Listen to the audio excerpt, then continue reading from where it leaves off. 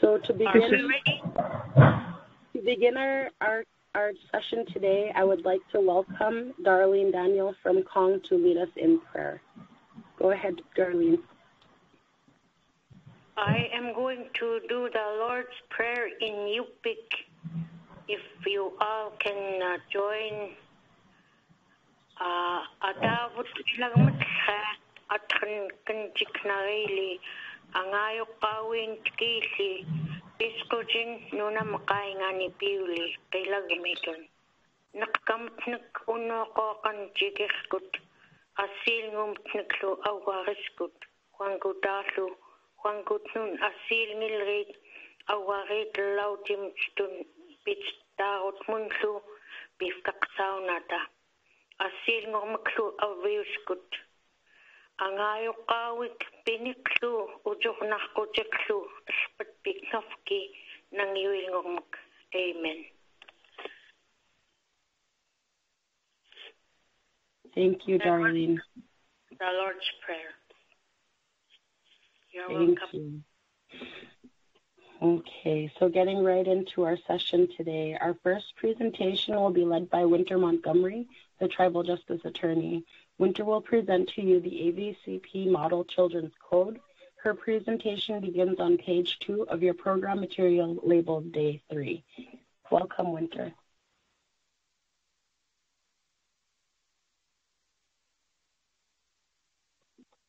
And remember, you have to press star six to unmute yourself. Thank you, Denise. Can you hear me? Yes, I can hear you. All right. I know I'm not even in a uh, a room actually uh, presenting in front of you, but I am standing up. I'm ready to go. I gotta. I got the afternoon uh, where I need to get more active here after lunch break. So we are so excited to announce uh, that we uh, sent out the children's code.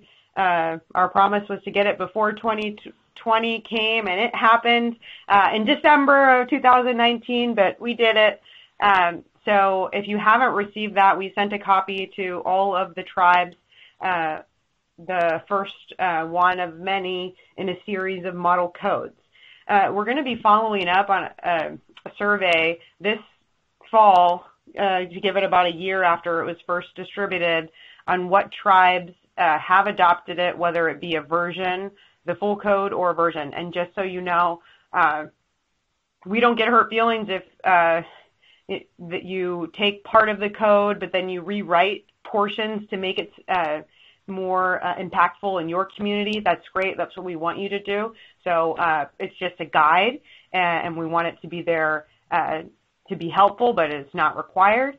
And uh, if you have your own code that's working really well, then then keep using that. But this is to go over the model code uh, that we have and see if it's something, if your tribe doesn't have a code or you want a revision, um, this is an option. So I'm going to go starting on the slide. So we'll go through an overview, overview of the code, the foundation of the code, the different code sections, some of the highlights of the code, amendment options, uh, that's to add certain items that are relevant to your community, and then the benefits of adopting it uh, because you'll have some u- uniformity with some of our forms. They'll kind of line up with the, uh, the code.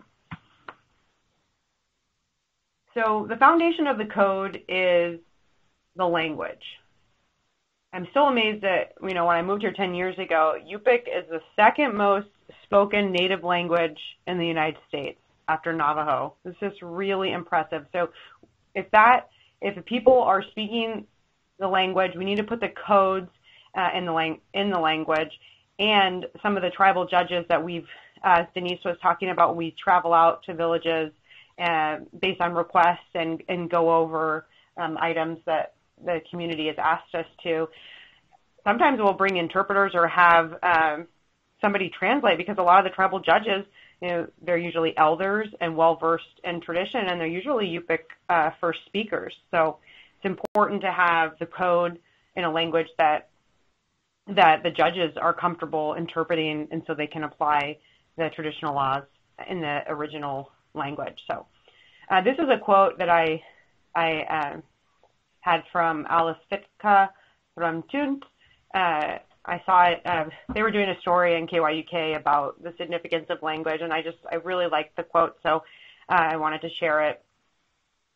Our language is like a rope, and if you look at a rope, if you take it apart, it has many strands in there. It's what makes it strong. If it was just a skinny strand, it couldn't pull a sled. It can't tie a boat down. Our language is like that rope. It, has how to raise a child. It tells us how to be, how to preserve food, how to prepare food, all in Yupik. So I just uh, wanted to share that. So that's what we're trying to do at AVCP. We're trying to uh, make codes that are in the language and embody the culture. We know that language is a, a huge part of that. The next slide, we talk about Western codes versus traditional codes. And so I'm not going to uh, read everything off, off, the slide, but you're uh, more than welcome to go back and, and look at uh, some of those items. But basically, as you know from the beginning, when uh, with the Western codes and uh, Western civilization telling Native uh, communities, hey, your ways aren't good enough. This is our way. This is the best way. We know that because uh, of grandparents that were sent to boarding school that were, were taught to speak English and forget about their language and their ways. So there was this push the same way with the Western codes that you should adopt templates that look like uh, like a state or federal code. That way, that that means you're legitimate. You're a real court. If your court looks like our court.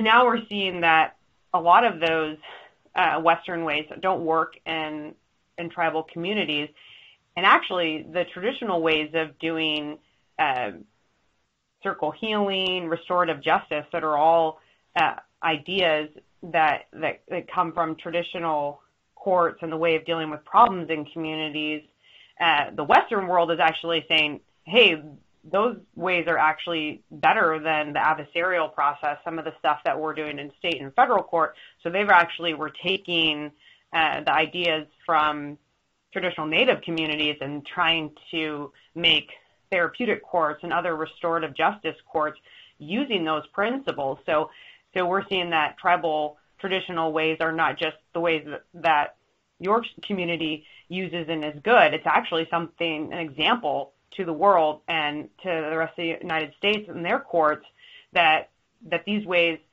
do work and, and it's an example to others. So just like I was talking about yesterday, we uh, keep doing what you're doing, take pride in, in the traditional ways uh, of your community. So the start of the code, uh, and someone actually brought up something to me, and I, I like the idea. It will take some time, but uh, it first has English and then it has Old Yupik. Uh, we have a modern Yupik translation now, so what we'll do is we'll add that one as well. Someone mentioned, you know, we should go put the um, modern Yupik first, and then the Old Yupik, and then the English, and I like that idea. So Denise, I'll talk to you about that later, but that'll um, just kind of with the codes that you're always revising, you're always trying to make it better, but we're just trying to um, get things out to the to the community so they can use it as soon as possible. But if we do that revision, um, then we'll obviously send everyone a copy so then they can um, adopt that as well. And that probably will be done here in the next month or two, um, adding modern Yupik uh, and then having it looked over by um, a translator that has expertise in the that um, area. Okay, so when you'll yeah, so when you see the children's code that came out, it will have English, Old Yupik, and then here in a couple of months, Modern Yupik. We have the code in sections uh, going through the findings and purpose, definitions, jurisdiction, uh, the laws that apply, how they're going to be enforced, and then the different sections, whether it be child protection or child custody, adoption. Uh, so that way it's easy to follow along. I have seen traditional codes that are more of a narrative, and that's fine too. Um, this is just um, how ours is set up. Uh, but I have seen traditional codes where it's just like, this is the purpose, uh, this is what we're going to do, this is the procedures, and if we want to change it, you know, we have authority to do an amendment later. So uh, it doesn't have to be sectioned out. Uh, it can be a narrative too.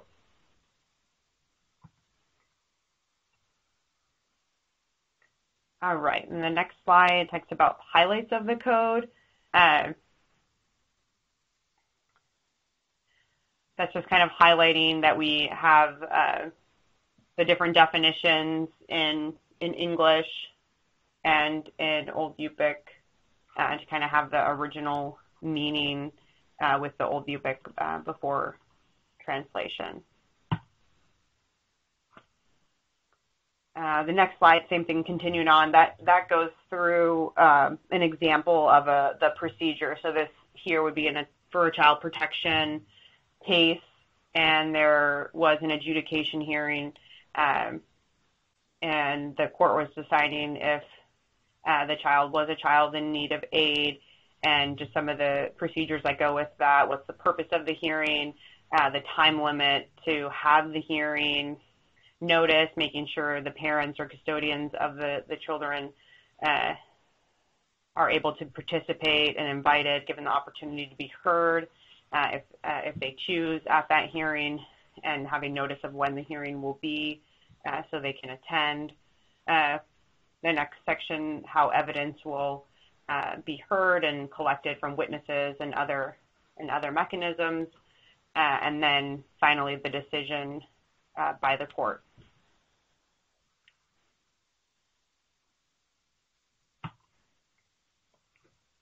One of the benefits of adopting AVCP code, uh, children's code, is that a lot of the forms, like here I put a, a slide of the adopt one of the notice of hearings for an adoption. So a lot of the notices and the universal forms that we have, and that was given out at uh, not last training, the training before. But if you ever want a thumb drive of the uh, updated forms, um, I can usually people message me, I just email it to them. But if there's a large amount or you want all of them, we handed out a thumb drive with um, quite a bit of the different uh, updated forms. Uh, you can ask for that, and I can mail that to you as well. So those are the options. So I think that's one of the the, the best part of the the code is that it kind of lines up with the forms that a lot of the tribal courts are using, and so then it, it kind of um, lines up with the uh, uniformity. But as I said, it doesn't. If if your tribe is doing uh, using your own forms, and that that's great. Uh, we also have a plan of putting the forms so that can be uniform with the rest of our codes uh, in three languages or two languages, depending if we have um, access to Old Yupik uh, translation or not. One of the reasons the children code was in Old Yupik is because one of the the earlier uh, codes we had was uh, done by some elders, and they put it in Old Yupik, so that that was kind of using the original form, then to translate it from there to modern Yupik, and then to English, so having the meaning. So for some uh, of the upcoming codes, if we have the old Yupik, we will incorporate that. But if it wasn't originally in Old Yupik, modern Yupik, then it will be in English. So um, if you're wondering why some things will be in three languages and some will be um, in two.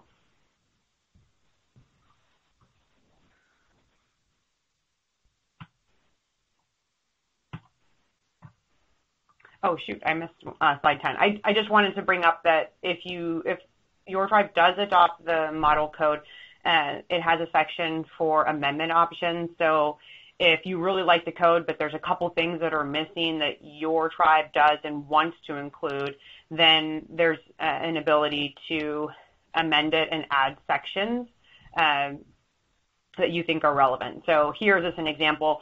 Uh, some some tribes have like a, a court of elders uh, or a community uh, committee, such as like in a child protection case, there's the tribal judges that make the decision, but they might cite uh, they might meet with community members that have ideas about um, of what what's best for the children or uh, that family or other input. Or some communities have a court of elders. They might not be the actual tribal judges, but they are the experts in traditional uh, ways. And so if there's a question, the the court thinks they have a decision, but they're not quite sure how the applicable traditional way would apply, then they could consult the court of elders or a group of elders to ask them, hey, we were going to do this.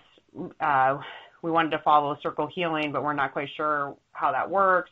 Or um, we have a question about uh, what we should do, what was the traditional way to deal with something like this in the past. So uh, those are options too. So it's all about going back to making it fit your community. If you do want to adopt it, how you can add things that are relevant for your community.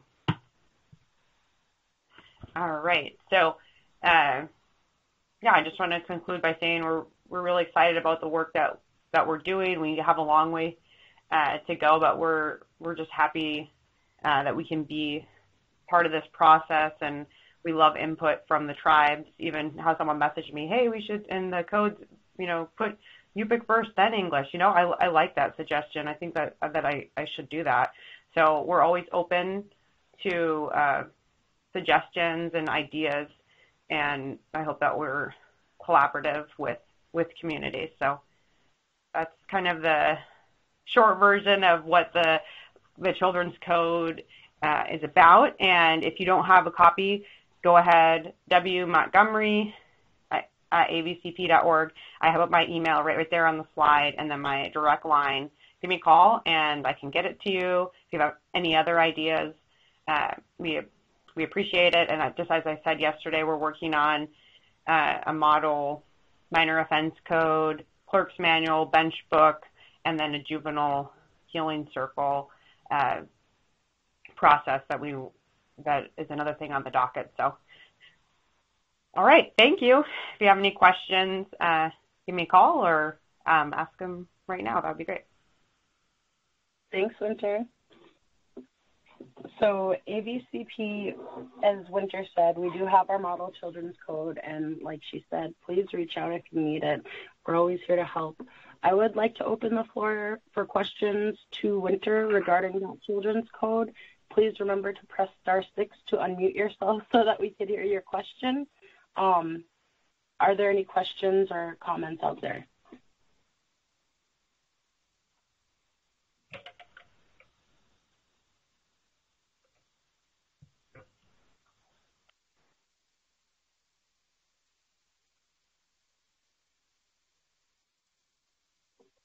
Okay, so hearing no questions, I would like to go ahead and move forward Oh, go ahead. This is Daisy May. Hi, Daisy. Thank you for your thank you for your presentation. It, it's very specific. I'd like to ask you. You mentioned something about juvenile code and in those development of codes. I don't know if this question will fit, but I will take a leap and ask. Is there an existing memorandum of agreement with all tribal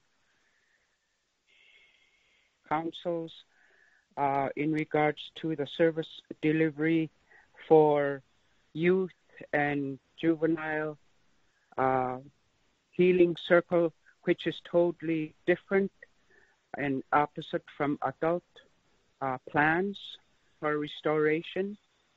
Is there a specific documentation in place, a plan that we can consider for our code adoptions?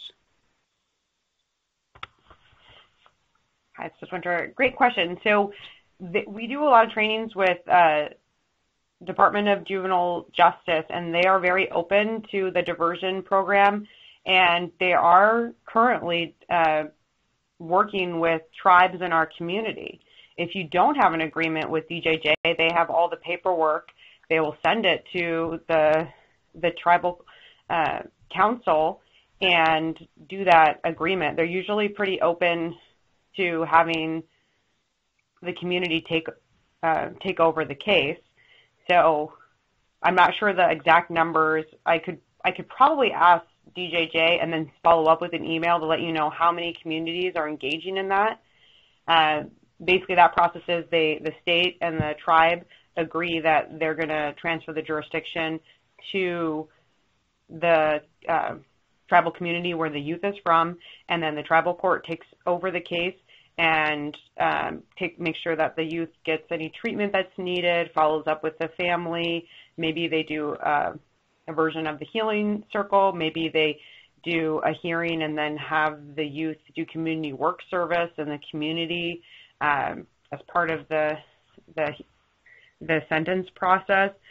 Uh, there is also a way where the the case could stay in state court, and then the but the youth could do uh, treatment with elders. I've seen agreements where it stays in the state court, but part of the sentence is that they re, you know they return to the community and they do so many hours of elder counseling, community work service, that sort of thing. Um, and that is usually done when the child, maybe they were already adjudicated in the state court, so they're like on juvenile probation, but they don't, so when they have like a probation violation, the state might say, hey, the youth can stay in the community, but they have to follow through with these other items uh, or uh, to avoid, you know, being removed and going to like a state treatment or something like that. So it's definitely a possibility to have the case handled in in tribal court.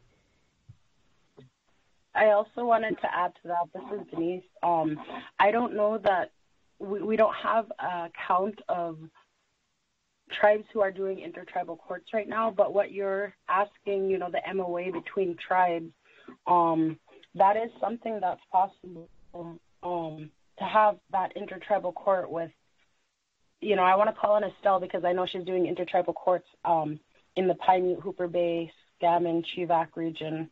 Um, but that that's a possibility um, that the tribes could do with uh, government to government agreements for intertribal courts. Yes, um, Madam. Thank you for that response. I, I have my very specific reason of asking and posing this question based on one great concern I have in my heart. We are um, addressing juvenile issues. I feel we have yet to address traditional treatment, traditional services for children anywhere from adolescent to their teens, and the model that specifically would be a prevention model providing traditional services for the children that are going through trauma. In my thought, when there's any issues within a home setting, a child anywhere from the time they're, they're conceived to birth, from birth to the time that they're experiencing challenges and issues it it seems that just one way of treatment program may not work and fit for the child Uh, when it's referred to, let's say, mental health program, when there should be a tra- existing traditional services program for these children, where where I, it just seems that, and I'm excited that teenagers and adults are being serviced, and at the same time, I tend to also not forget but to embrace the thought of what about these little children, especially if they're placed outside of the tribe or outside of um, the home unit that's not within family settings or family structure. I'm thinking in Yupik and I'm trying not to integrate the Yupik concept because speaking it in English takes the context out of what I'm really meaning to say. Do you understand? Yeah, I understand. Um, so I'm really happy that you brought that up because something that I really try to do is advocate for our Healthy Families program. Um, they do take referrals from tribal courts if the tribe knows because you know in our in our communities everybody knows what's going on um our our tribal judges our tribal court staff they know you know what what happens within their community and a resource for each of our tribal courts is our AVCP Healthy Families program, which really does incorporate the cultural aspect of healing. Um, and their focus, one of their main focuses is juveniles. Um, and this, you know, I, I'm not exact. I know that OCS um, does do referrals to the Healthy Families program, and they consider that a treatment option um, in their in their cases. Um, but I, you know, I just have to put it out there that our Healthy Families Department does take referrals from tribal courts for, um, you know, whatever case, you know, if you have a family that they're having issues and they need they need treatment, um, that that's an option for you. But our our Healthy Families does one of their main focuses is juvenile cases. Um, so if if you need more information on that, please reach out to me and I can get you that information.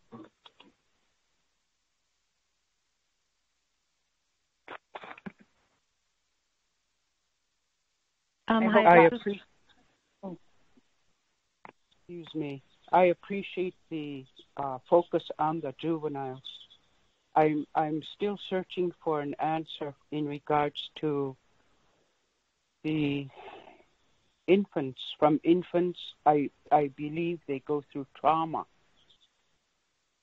And is there a plan or a program in place that can give up services for these little children? And if there isn't, can there be a memorandum of agreement amongst the tribal councils or tribal courts to develop one or have one in an existing plan? So I, th- I sorry, I had to check if I was muted. um, I, I think that it is possible for tribes to develop a plan in addressing issues with juveniles and with the little, you know, the tiny babies, the infants. Um, and I, you know, I, I could dig more into this and get back to you. Um, but definitely that's a great idea and that's a great concept. I understand what you're saying. Um, hi, this is Estelle. Um, yeah, you, uh, as far as like the intertribal stuff goes, yes, you can put whatever you want to within the the confines of that agreement. Um, what we have in our our basic agreement is is pretty simple, but you can get as as as uh, specific as you want to, especially when it comes to dealing with children. Um, one of the tools that I use and I refer to kind of frequently um, because there's not a whole lot written that I've found about um, restorative justice for children. There's actually a research um, review that was done by an organization called the West Ed Justice and Prevention Research Center and um, it talks mainly about restorative justice in schools um, and how to implement those programs. But one of the things that I really liked um, about this information that I got from there, there's actually um, something called a restorative justice implementation guide and toolkit, and they have different examples from all all over the country on how they uh, apply um, our principles of uh, helping to build our children back up and give them tools to communicate better and um, to work with each other uh, more effectively. Um, I didn't see anything in there about um, babies per se, but um, I can definitely look at some of my resources also and share those with Denise and um, the rest of you folks. I, am sure Denise can get that information out. But again, um, uh, the organization is called the West Ed Justice and Prevention Research Center. Um, they have um, a bunch of information. They did a bunch of stuff with with uh, students in Chicago. I know it's definitely very different than than um, our area of Alaska in Southwest Alaska, but they have information and tools that we can look at and apply. And that's kind of what I've been working on is looking at all these different tools and seeing okay, how does this apply in a traditional uh, setting and with our um, cultural values and standards? Um, I think Daisy, I would really love to talk to you more about this and um, what you're thinking about because um, I, I definitely agree. We have, I think, the, the majority of our cases, when we look at justice, we can spend more time. I think if we spent more time in prevention and support services for our children and our families, we wouldn't have the problems that we we have right now with um, with people going in and out of jail, the recidivism rates, and and also you know some of the abuse patterns that we have in our communities. So um, I'll I'll be glad to share whatever I have with you guys.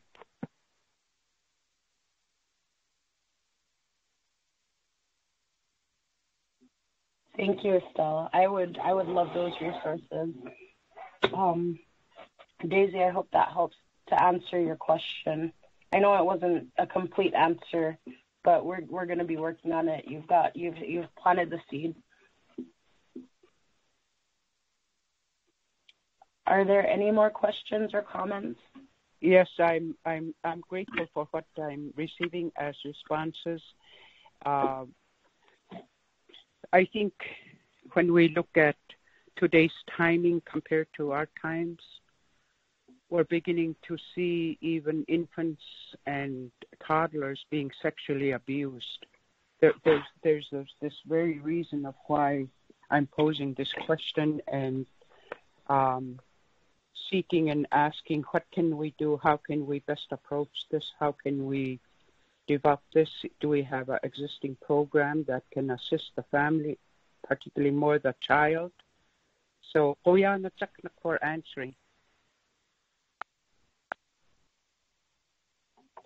You're welcome. Thank you, Estelle. Again, thank you.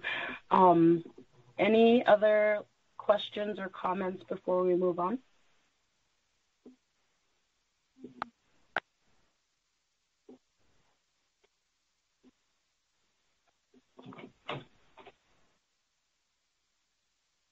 So hearing none, um, I'd like to go ahead and move on Hello. to the next. Oh, hi. Go ahead. Uh, yeah, um, Fritz from Kipnuk. We have a children's code.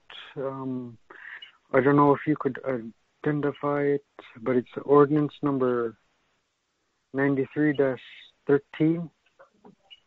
I don't know if that came from AVCP or not. Maybe this looks like it was typed. Um, I was just wondering if this came, if that sounded familiar, and if it came from AVCP. So the the code is uh, based in my original presentation um, from November. Is we took parts of uh, the Kipnuk code and, a couple other codes and merged them together. So the code, yeah, looks uh, very similar to uh, Kipnuk because they were the ones that had an, uh, one that was originally in Old Yupik.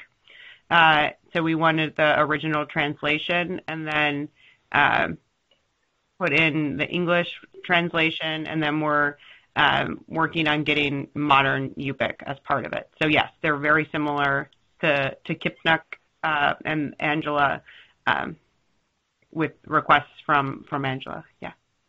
Okay. Okay. That that's all. Yeah. Thanks.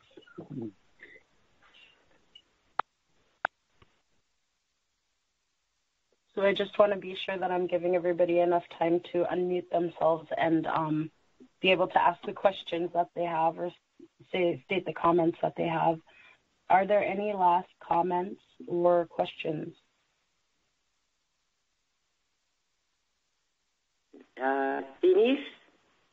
Hi. Hello. Gladys. Hi. Uh, from Hooper Bay. Um, about that lady with the children having uh, incidents with the infants. Um, we had one incident deal thing, and what we did was we filled out the emergency, temporary emergency custody, and it worked out, and it's still going on right right now, on and off about the custody. And and with the juveniles um, when we have when we have court hearings with them, we always ask them um, if they're involved in uh, social activities, and we always suggest them to go to behavioral health, and we have a women's shelter opened up now, and you know they could participate over there, try to help out, do community service over there, or any of the offices, you know, the juveniles, we we try to let them do community service, you know, get them out of out of uh, what's going on in in them. Hopefully, that's helpful. Thank you. Thank you, Gladys. Are there any last last questions or comments? Uh, I have a question.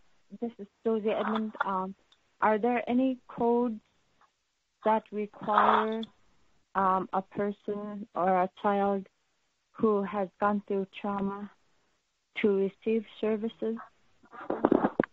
Um, I ask that because we know that uh, a lot of people who go through trauma don't have opportunity or don't receive services to deal with their experience and and then um, as they continue it comes out in behavior um, and causes issues so is there any codes um, that require a person who's gone through trauma to receive services? So I'm going to call on um, Winter or Alex if you're on the phone.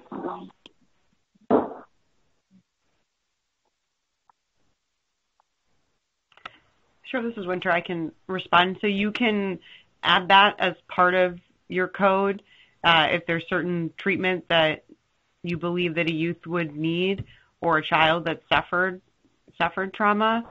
Uh, and it doesn't even have to be a court case. If you know if there's an issue in the community, uh, I think a lot of times how things start in state or federal court is usually a complaint or something that's going on.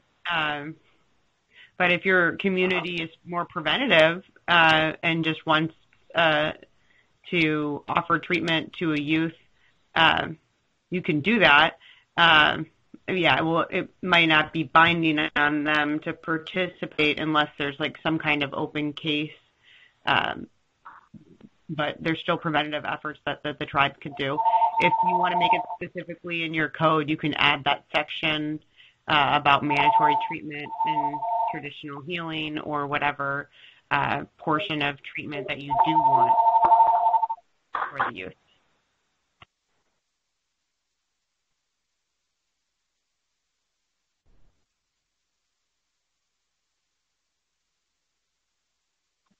Thank you, Winter. Um, I hope that answers your question. Yes, it does. Okay. So I'm going to ask one more time if there are any last questions or comments before moving on.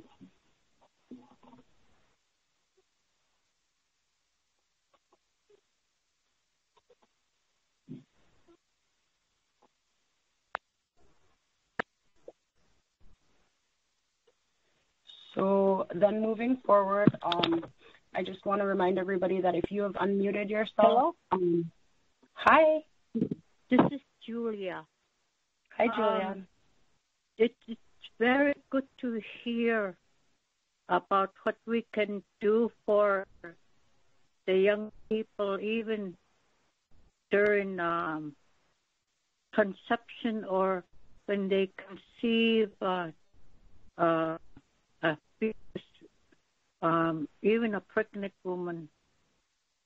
Um, is this code similar to what um, ICWA are? Because many times I to hear um, trauma and how substance abuse, all the violence that are happening to our youth and to the family, to the community. Um, it's really sad to hear that um, we're so used to the outsiders coming in and taking over, but not empowering our people to resolve our own problematic issues in our villages when we have a lot of resources. Um, and it was really good to hear about ICWA. Um, one of their codes or law has some intervention prevention that's related to our culture and to our tradition in helping people. But is this also applies to ICWA code too? I'm just wondering about that. Thank you. Hi, this is Winter. So the ICWA uh, cases are usually in the state court, and then the Indian Child Welfare Act will apply in those cases. The the children's code uh, that's applied in your community is when you have jurisdiction and you're handling the case on your own without the state. So there might be some principles that are similar, but uh, you can intervene in the state case as you're as you were talking about, uh, and be a party either um, as a as a representative for the tribe or through partnership with uh, Alaska Legal Services or Alaska Native Justice Center has lawyers uh, that represent tribes in state court, or uh, the code the code is for courts that are tribal courts that are doing uh, the case on their own. So it either started in uh, tribal court or it went to, it was in state court and then got transferred to tribal court. So it's when they have the full authority over the case. So that's what that's what this one is. But good question because there are some similarities uh, based on those those cases. And then the code also has uh, ICWA mostly deals with child protection in the state court, but the code t- goes through child protection and then uh, also has adoption uh, in there, and then child custody. So it has some other, other parts to it uh, that are more expansive than just ICWA.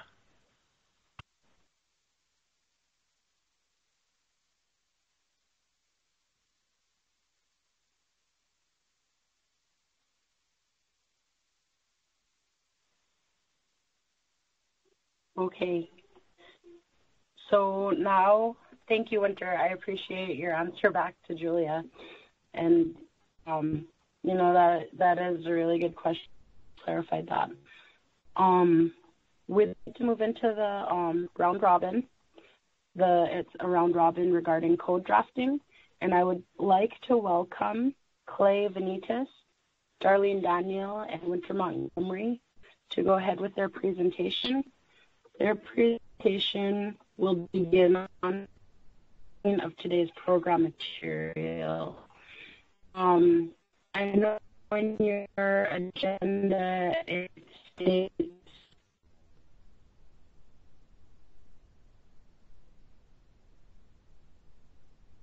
but she has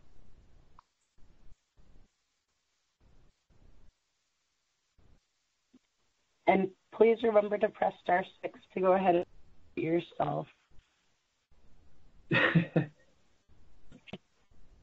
is um, it looks like my slides, the first one on page 14 of the handout, so I can start if that works. Um, and I'll I'll move.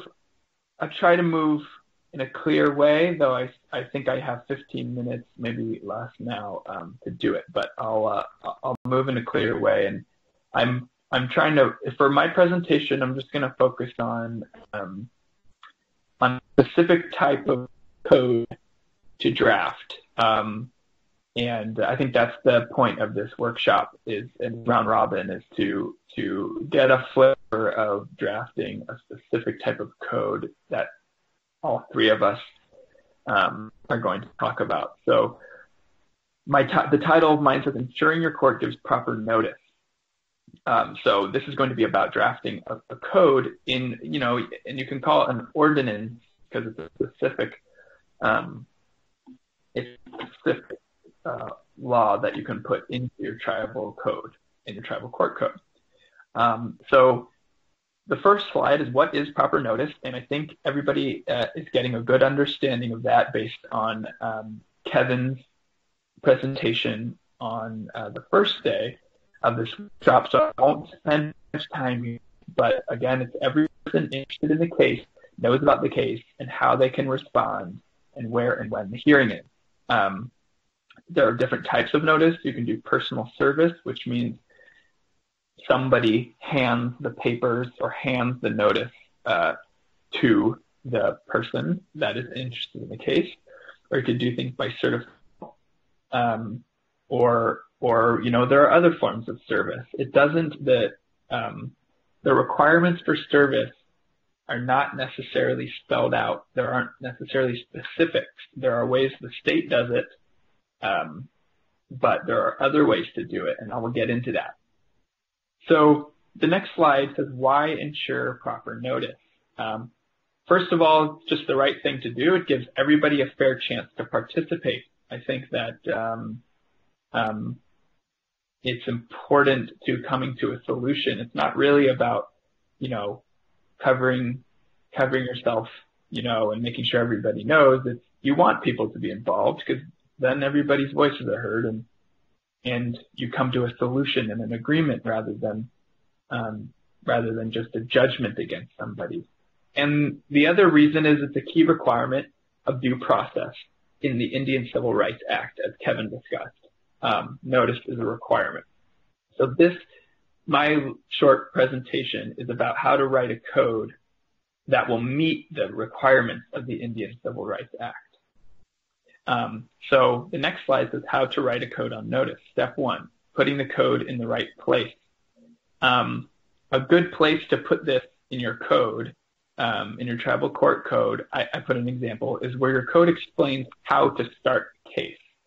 So if your tribal court code, or if you want to write your new codes, a good place, a good um, section to have is telling people how to open a case in tribal court, whether that means you know, writing a petition and telling the tribal court, I would like to have a hearing, I would like to meet with the judges and resolve a matter. Well, in that place in your code, it's good to put in a requirement um, for proper notice at that place so that when somebody, so it makes it, it's like, it should be like reading a book. Um, what you don't want to have to be jumping around the code to find how to follow it. It should be simple and easy.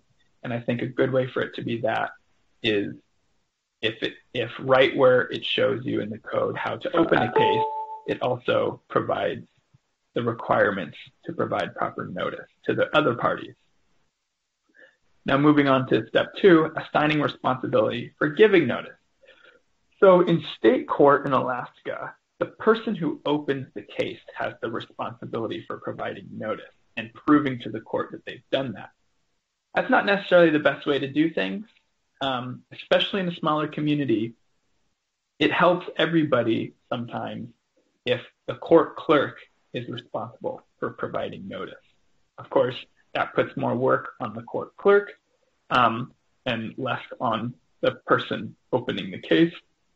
But to the extent the court clerk is starting to become an expert on the issues and knows how to, or at least an expert on how to move the case forward, it is sometimes a good idea to have in your code that it is the court clerk's responsibility to get this notice to the other party so that the person who's opening the case doesn't have to try to figure that out themselves. But it's up to you how you want to write that. Um, the next step is, and I will go over an example of this code at, at, in the last of my slides, and we'll and we'll show you in this code every every one of these steps as an example. So you'll see an example if that's helpful to you. So the next uh, slide says step three, stating who gets notice. This needs to be the respondent, it needs to be the person who um, who the case is being brought against Um, and all interested parties, anybody you think that would be interested in the outcome of this case, that this case affects, should be given notice, and you should put that in the code, stating exactly who it, it is, who the court clerk is required to give notice to. In child welfare cases, like ICWA cases, that's, you know, that's pretty broad. Notice is, um, that's spelled out in ICWA, um, who should be given this. And so um, that's something to check on, and it's helpful to put in your code so that when your court clerk um, or whoever is providing notice is going to do notice, you should make it very easy for them to know exactly who to send um, notice to. And a lot of times, tribal court codes will say, will require that the person who's opening the case, when they write their petition to open the case and ask for a hearing, a lot of tribal court codes will require that that person include the names and numbers, phone numbers, or addresses of everybody who they think is involved and that they think should get notice to make things easier for the court clerk to give notice. So that's another example too, is to give it, to share a bit of the responsibility and give uh, and require whoever's opening the case to give the court some information on who needs to be given notice. So step four is defining how to give proper notice. And then this is kind of, you know, this is the real bread and butter here. Um, I have an example in a quote, you know, the court clerk shall give notice by, and then you, and then you include the methods of giving notice. And you have to define what type of notice is enough, what counts as giving enough notice, because you can understand if you posted, if your first step was to post a piece of paper somewhere, um, saying, hey, there's here, you have a court, this person has a court date, and you got to show up, you, you should show up to it. If you, you know, just putting that maybe on the on the outside of the building that where the tribal court is probably not enough. So just the no- notice has to be designed to to actually get to the person who needs to see it. You don't have to go overboard. It, you you know you just have to do something reasonable. So I'll get into that. Based on court Alaskan court cases where they've discussed notice requirements and what is sufficient, it turns out what is actually sufficient is not a specific type of notice. It's doing everything you can, certain means that are reasonably designed to notify the person that a hearing is coming up, that the case has been opened. And that takes in all circumstances. So if you have a small village, if there are certain ways in your village that you get um, that you get news to each other, you can try, you can do that, and you can document that, and then that would be considered notice. It was reasonably designed in light of the circumstances of your, the truth, the traditions of your village make it so that was well designed to give the person notice. Again, it doesn't mean the person like doesn't mean there necessarily has to be an absolute requirement that it gets into the person's hand. You just have to do everything that is reasonably likely to get that person noticed.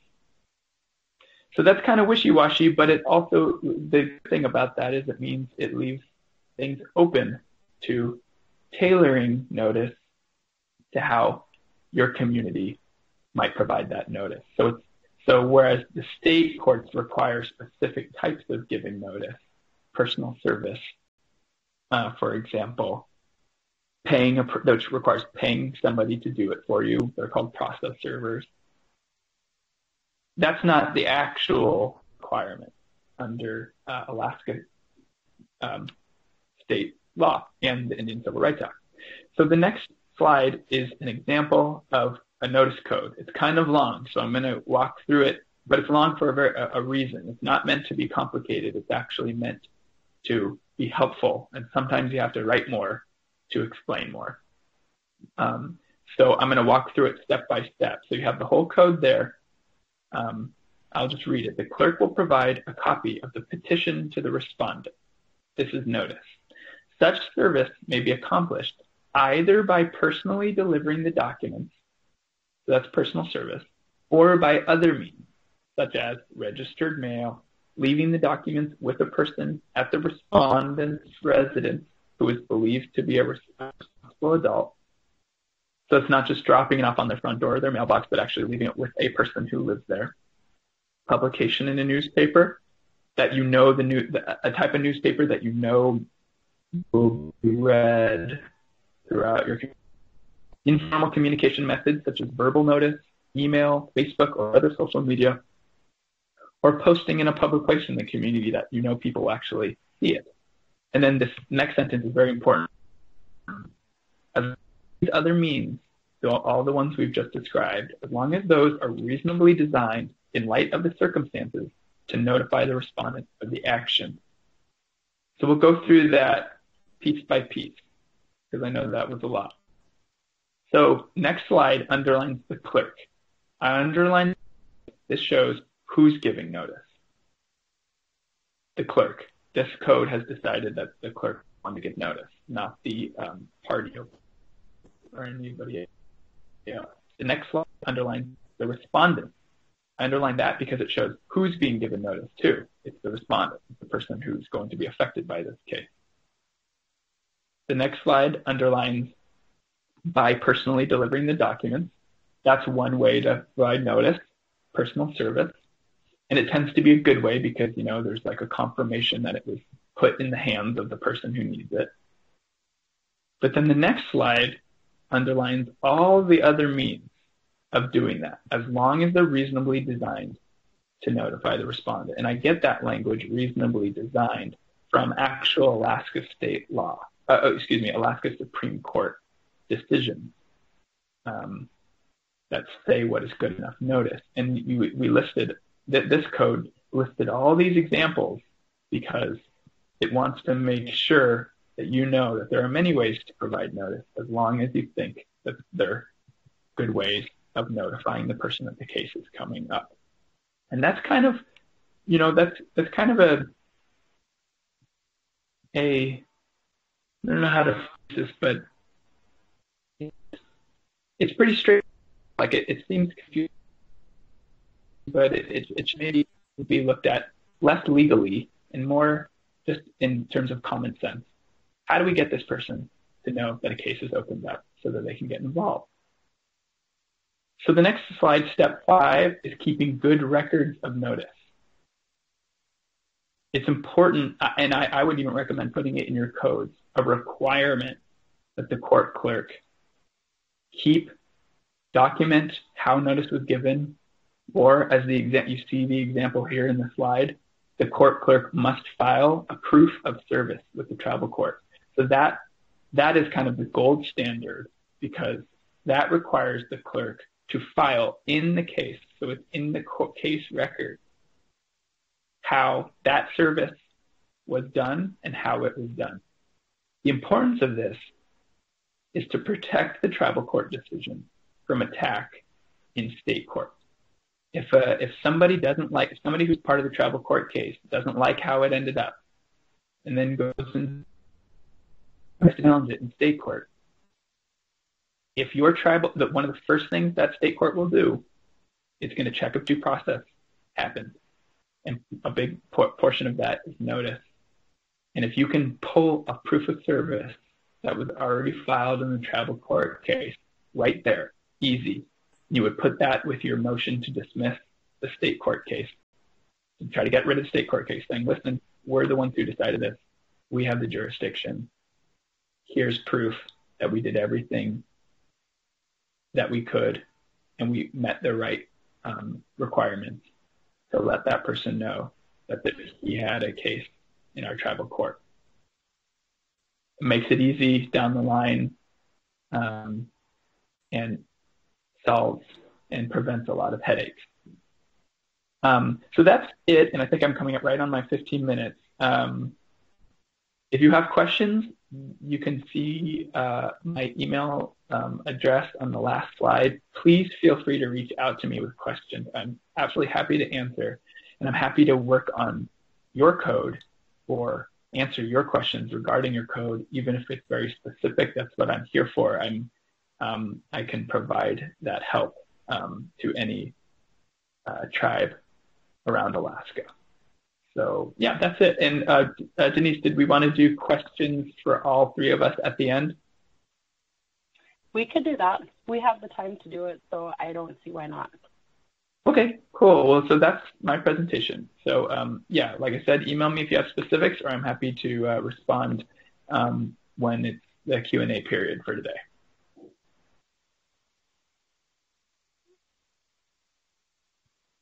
So does anybody have any questions for Clay regarding his presentation?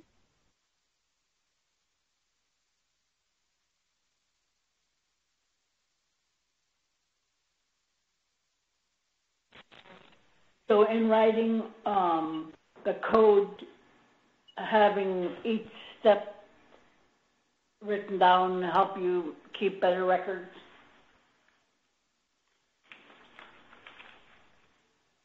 Are you asking um, how how best to keep good records of notice in your tribal court? I mean, um, having to be specific like we did here in step one through step five. And do we, or is it already um, made up on how long we keep the records?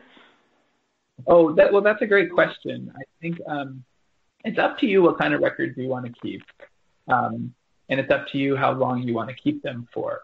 The reason to keep good records is what I mentioned before, which is it helps protect you from somebody in the case trying to open a case in state court and challenge the tribal court decision. It has other good, you know, it has other um, helpful um, benefits too because cases tend to drag on. Cases close, but then they open again. Um, so keeping those records um, in a, you know to, to, whatever detail you want, it's up to you, and however long you want is up to you. But um, it's it's beneficial, especially with being able to keep things electronic if you have the capacity. Um, keeping those for um, for years um, would would certainly be helpful, but that's up to you based on um, based on um, your sort of preferences with, with regard to protecting yourself and protecting the tribal court's decisions from challenge from outside.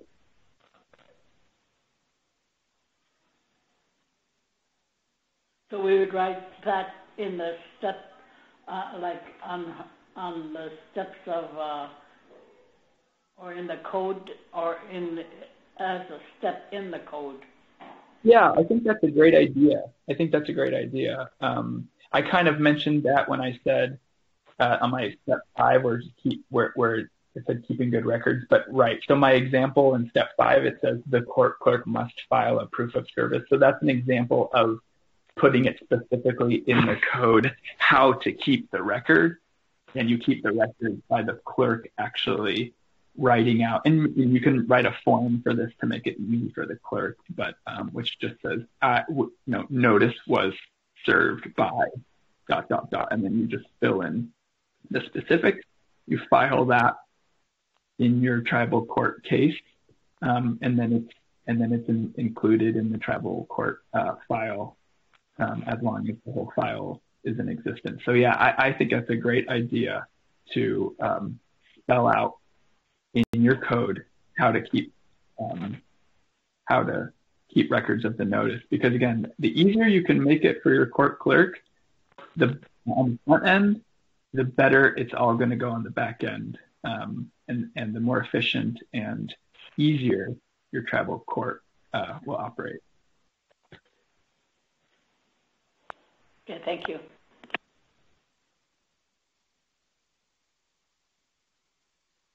Are there any other questions for Clay? Denise, this is Mary. Hi, Mary. Mary go Papola. ahead. Hi.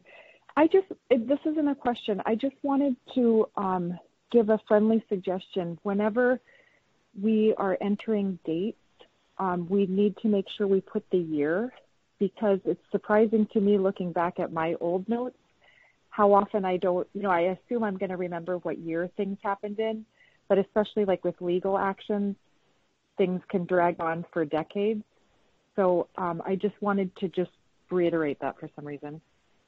Thanks for thanks for saying that. Um, yeah, like it, it's it's it's a, it, we I feel like we apply it in our own lives too, where it's just um, it doesn't seem so important in the moment, and then you kind of, you know, you're banging your head against the wall years down the line that you didn't add as much detail as possible.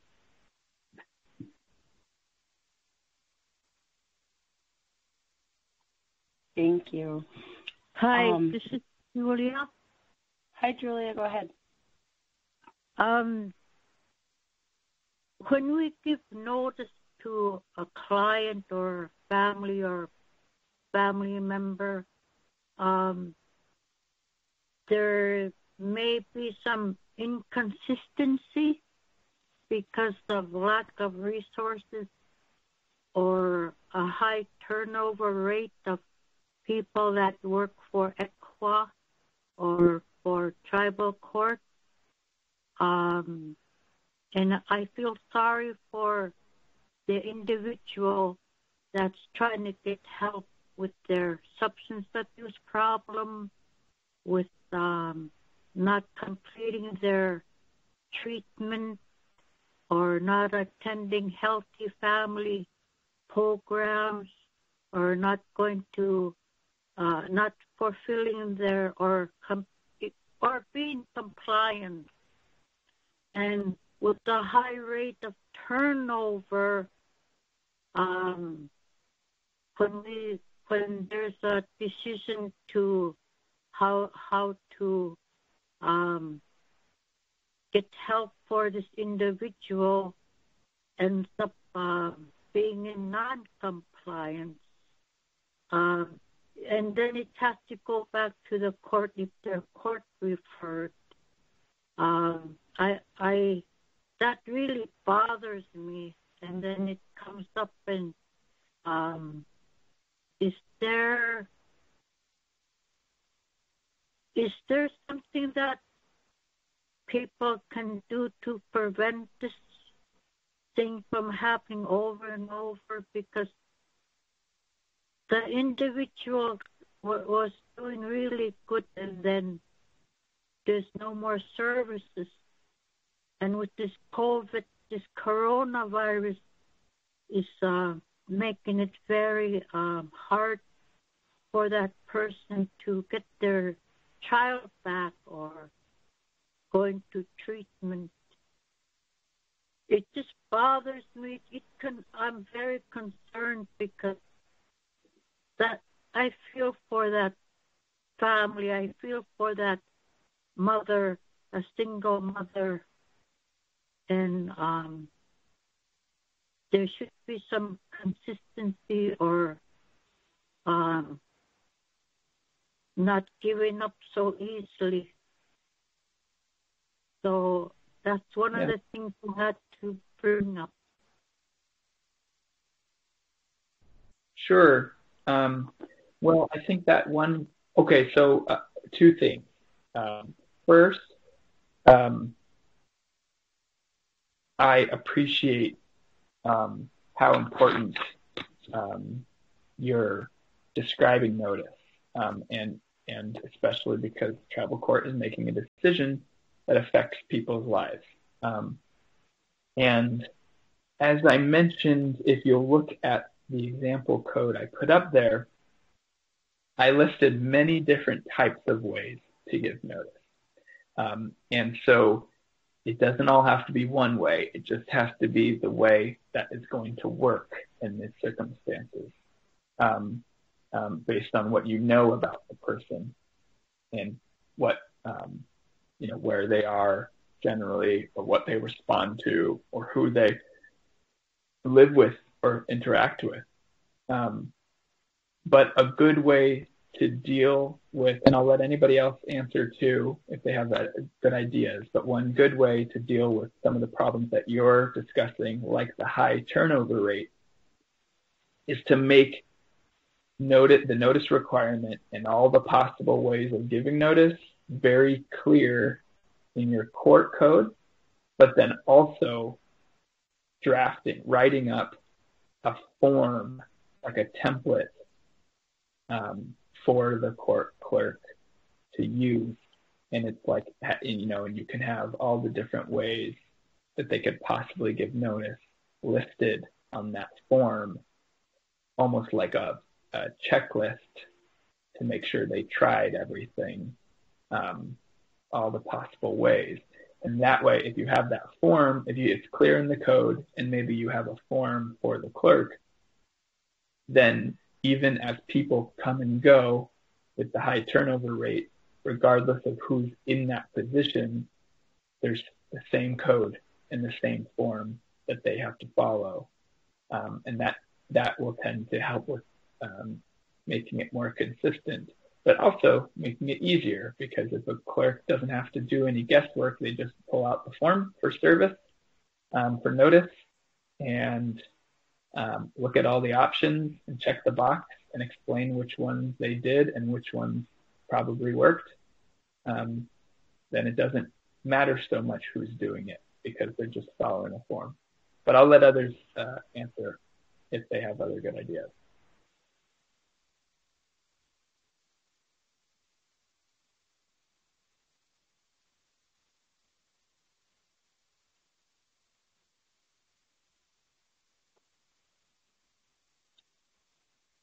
So I'm not hearing anything. Um, any any any more questions for Clay before we move forward?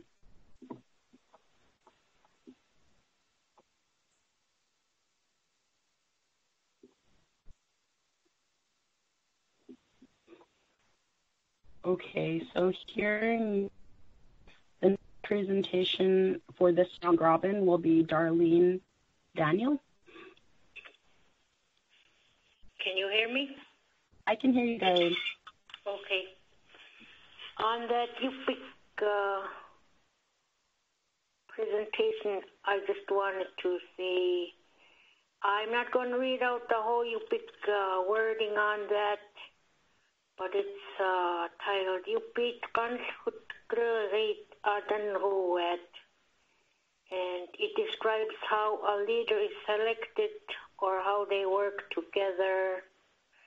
And they also mentioned the employees and how Samyo is mentioned in there too.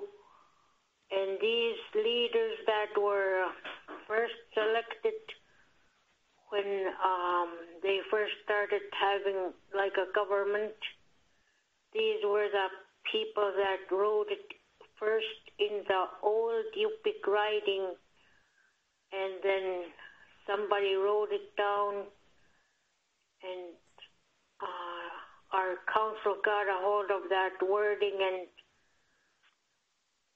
started writing it down in the newer version of the Yupik orthography. So we typed it up here at the court, and some of the pieces are not clearly explained yet because we haven't really met with the elders. But I wanted to share this uh, Yupik written part because I wanted the other villages to know that it can be done in your language and um, if you work with your elders that could be done in your own language and through, through on the first part it mentions that the people that speak the same language will follow these these rules.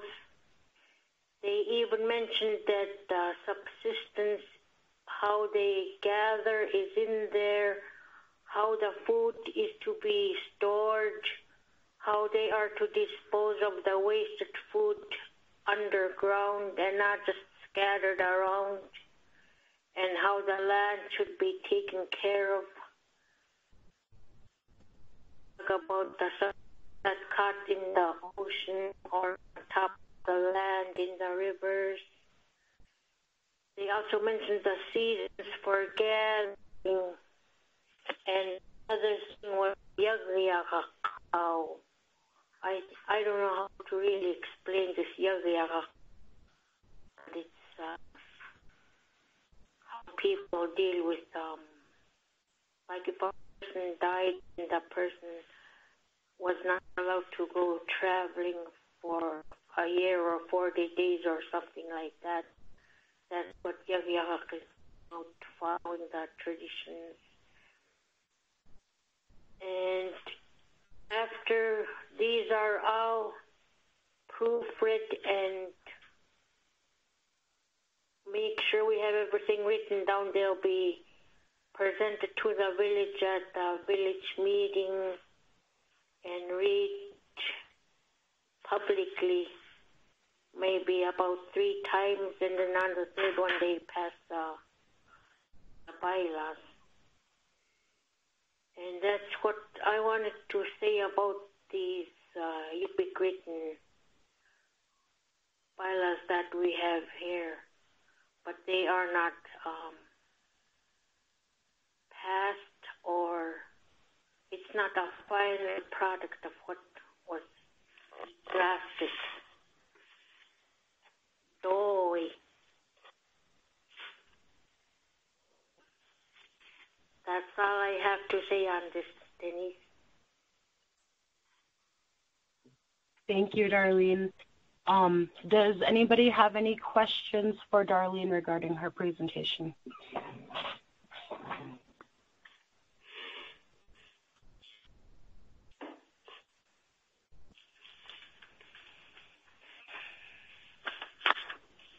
Can I ask a question? This is Mary Patola again. Hi, Mary. Darlene, when you were talking about um, like the rules when people yuck, or how did you say it? Yuck, yuck. Okay. Um, how did you incorporate that into your codes? These words are all written down in what we got from the traditional old Yupik writing. Um, okay. The first elders that were in um, government, or some of them that had moved here, were the first people that wrote down these words, and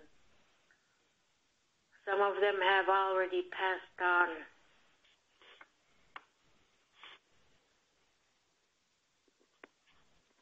Okay, Brianna. Yes.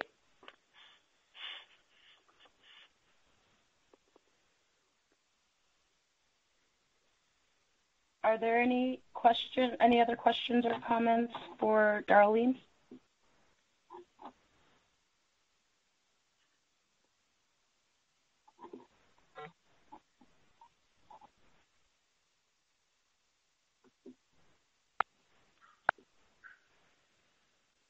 So hearing no more questions, um, the next Can round you- robin. Oh, go ahead. Yeah, I'd like to I'd like to add a comment on Darlene on Yugyak. Yeah, go ahead.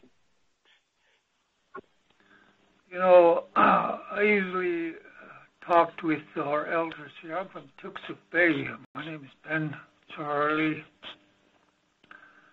And I, I agree with her, but most likely on our, in our area, we have different beliefs regarding to uh, Yugyak. And uh, each question I ask to an elder if this Yugyak is part of our culture. And um, I have a similar answers. Most likely, the way I understand, they're more religious toward our religion.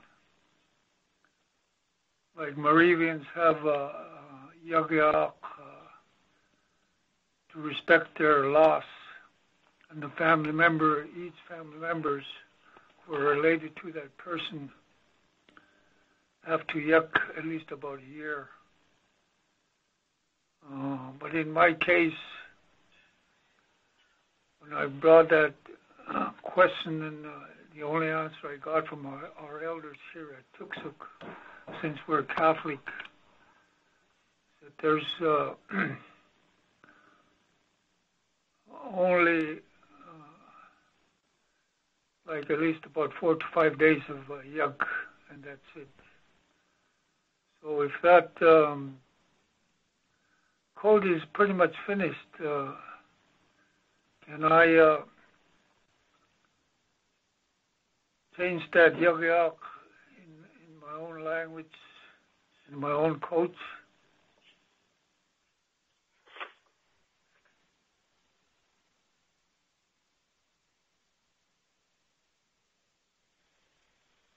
Well, nakfaspen ni shooting. Good to hear you.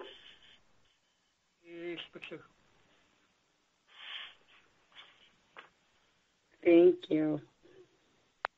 So Uh, one my- last. Well, my Go ahead. question was the same as Ben's, um, Denise. It's like, you know, in Bethel, it's such a melting pot of all of our region. And it seems like every family has a little bit different rules for grieving and mourning.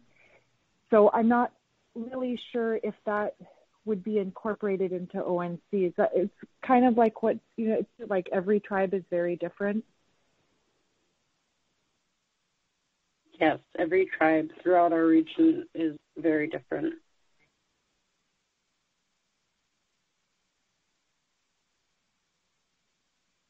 And I wanted to point out that every every tribe is different, and we follow our own traditional ways. And for our tribal courts, we really don't have to follow the state's um, wordings on our paperwork. We have our own um, tribal court forms and how we counsel the person is from the traditional counseling by the elders and we say we we we are not following the state court procedures but we're following our own tribal court procedures. That's what i want to point out too. Well, no. yes. And something to keep in mind is that, um, you know, we could go back to our traditional knowledge and really it comes from our elders, but um, like Clay said, this can be, you know, they, they are your codes. They belong to your tribe and they could be whatever you want it to be as long as you are following um, the requirements in the in the Indian Civil Rights Act. So I just wanted to state that as well.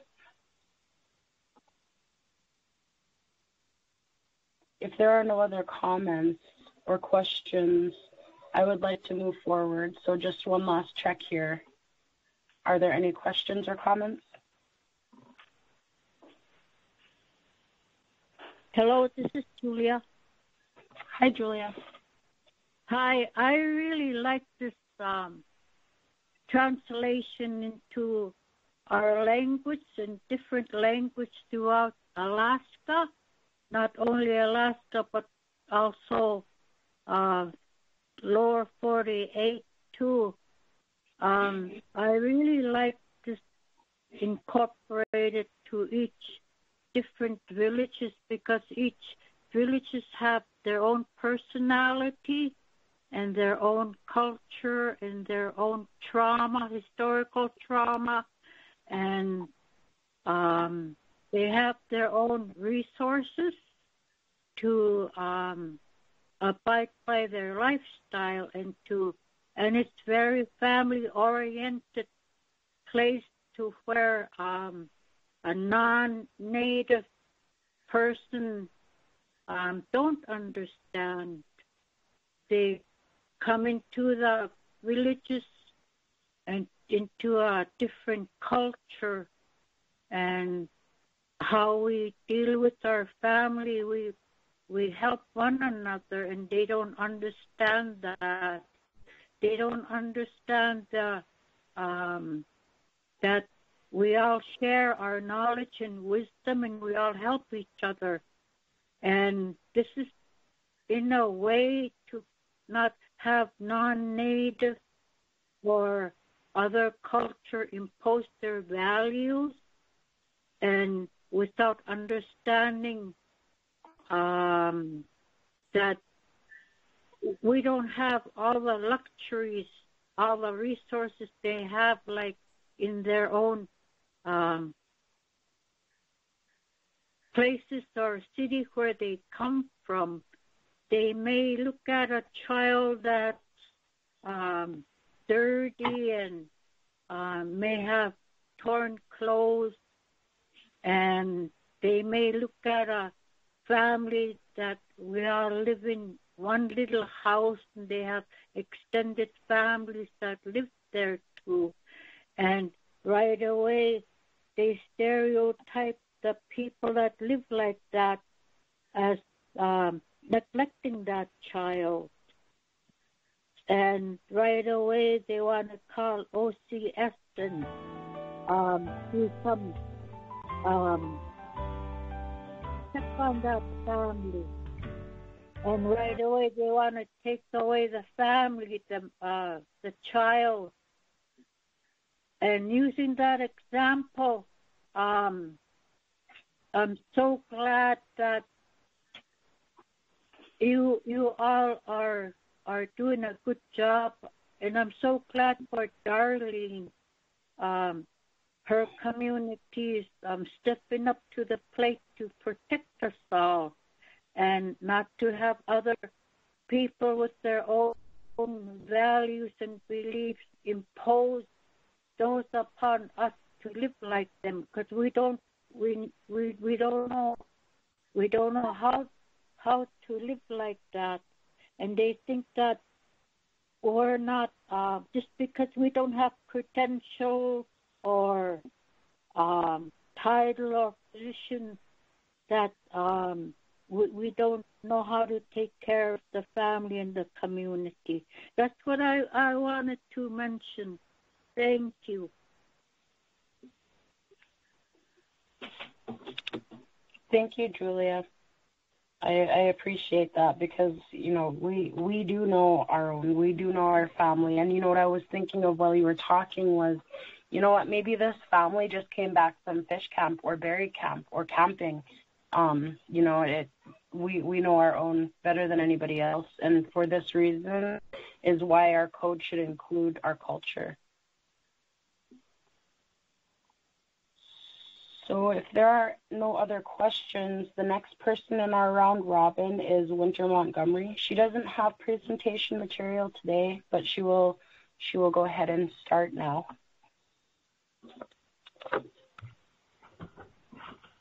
Hello again. Uh, this is Winter Montgomery. I we're running short on time, but I, I just want to go over my part of the presentation where is uh, going over some tips for creating your first code. So uh, yesterday I talked about different questions uh, to kind of prepare for that. And the first question is what, what, what kind of code do you need? Is it a regular code or just one uh, smaller ordinance or a shorter code. Next, um, if you're going to draft it by yourself, um, what do you um, what do you need, or do you need outside assistance uh, to finish it? And then what? And the third question is, what's the timeline to to get it done? So you'll keep those things in mind, and then start with. Uh, and I just thought we'll just uh, throw out an example. So sometimes codes can be very long and very detailed, and there's positive and negatives for both. So if you have a broad code, then uh, you give room for more uh, broad interpretation and, and, procedure. Sometimes courts that are have been like the traditional courts we're talking about have been doing things for so long it might not be written down, but they they know what how uh, to do the procedure uh, already, even if it's not all written down. Part of the benefit of down is the future generations will have like the specific guidelines when the elders aren't here anymore, but also uh, just valid to uh, continue the oral tradition if if they still can uh, pass down those traditions.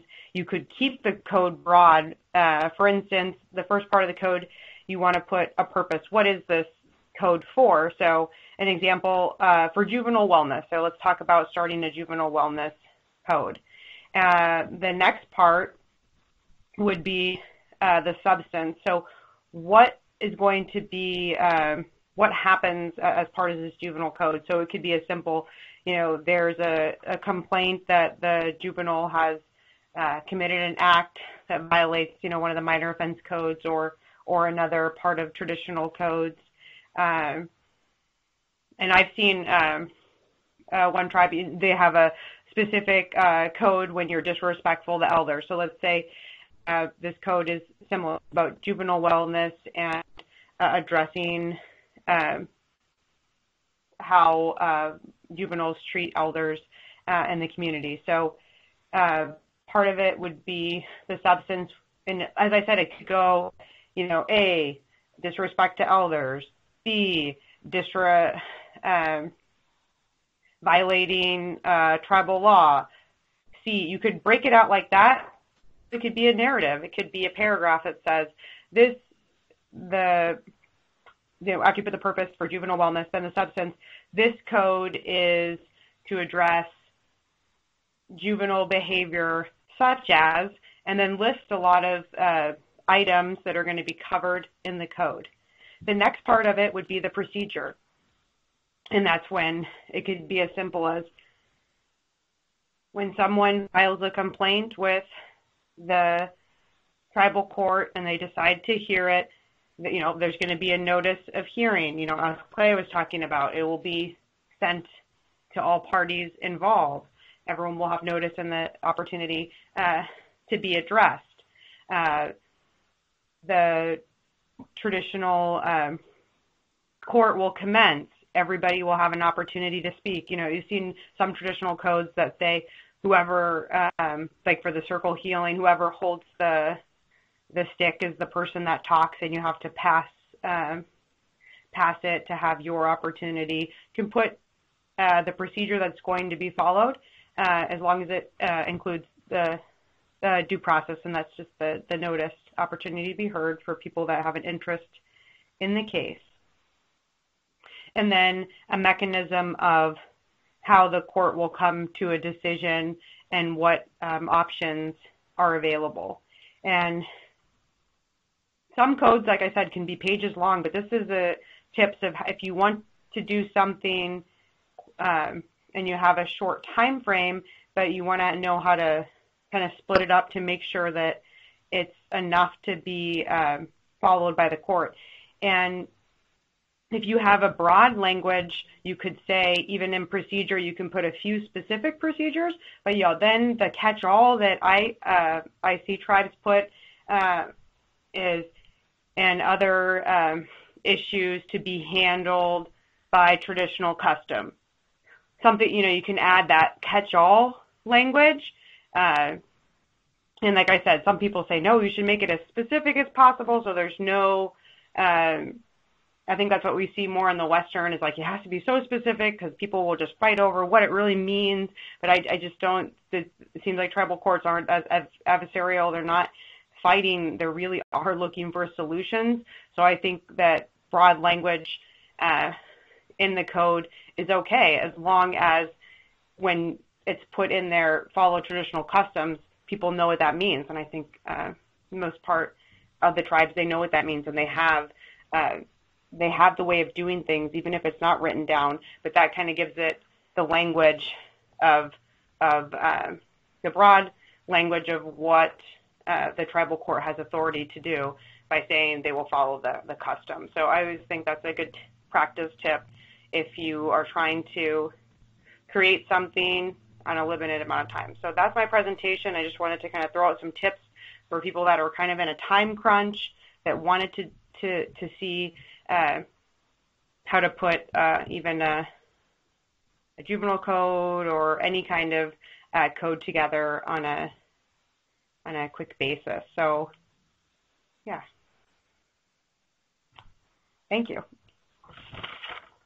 Does anybody have any questions or comments for any of the presenters um, We are at the very end of our session today, so I'm opening the floor for any questions or comments that any of the participants may have. Hello? Hi. Hi, uh, this is Jennifer from Kasigluk. Um, I have a question for maybe Winter. When we do a order grant custody through tribe and we succeed and get that going and then the last where we get stuck is the um since it's not included in the children's code or it might be we might be missing that part. Um the child child support disputing on who gets and how how would we um, get that going? Like if they ask for child support, do we just send out the whole case document to the state so it could be processed faster? Okay, so the thanks for your question. So the the children's code has child custody uh, in it, and then the the way that child support, and this is probably a good idea. Maybe this is something we should add. Uh, child support is basically decided uh, based on the custody arrangement. So if one parent has the child like 80% of the time, then there's a certain calculation of how much the other person owes. Um, so uh, we'll have to think on that. Yeah, the actual. Oh, sorry.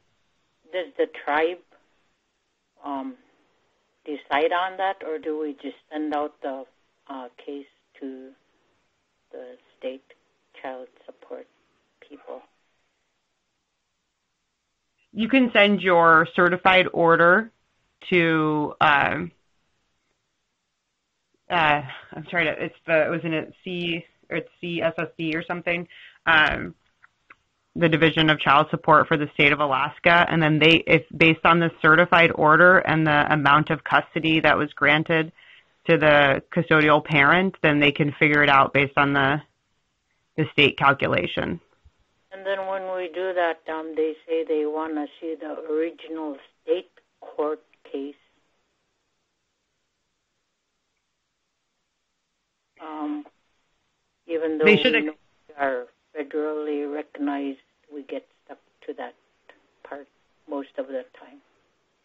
So certified tribal order should should be sufficient, but if they uh, you can get a state enforcement order, like enforcing the the tribal court order, if they're looking for something from the state, but they shouldn't need it. But message me after this because we should make sure that you get an answer I had another issue that was similar where for vital statistics, you know, they sent a, they're trying to get the cha- the birth certificate for one of the tribal members for an adoption, and then they said they had to fill out one form, uh, and so they filled it out and also included the tribal court order, and then they were saying, no, we want a state order, you know, so sometimes they're just uh, don't know the full process, so we've been following up on that uh, as well. So there's there are a few hiccups sometimes. If that happens, just reach out to us because that's what I did with vital statistics. I just called them up. Okay, how do we get this fixed? How do we? Um, why aren't you recognizing the tribal court order and stuff? And we we come to find common ground of how to get the issue resolved. So we're here to help with those issues. Okay.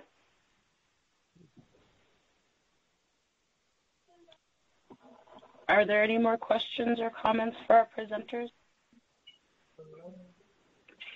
Um, hello. Hi.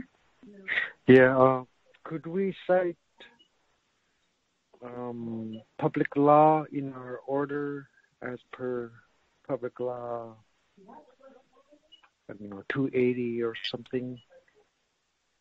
Um, like if we send something to child support or if somebody, you know, to so the state agencies, whoever they are, can they probably know what uh, public law is if we cite it. Could would that help in the orders?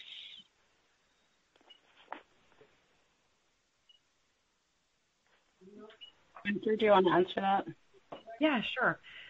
Yes, I mean the order. Uh, usually, the first thing that we recommend in the order is to have a jurisdictional statement which says, you know, the village, the tribal village of blank has jurisdiction based on, and then uh, there's boxes to check us. Uh, and it will say, you know, that it deals with a, a, a tribal member. Uh, the incident occurred um, in our community. So it basically says uh, in the very beginning of the order, uh, it's recommended to say why the tribal court has jurisdiction, which establishes to the state agencies we have jurisdiction of this issue, uh, and we're able to make a, a ruling and it be uh, enforced.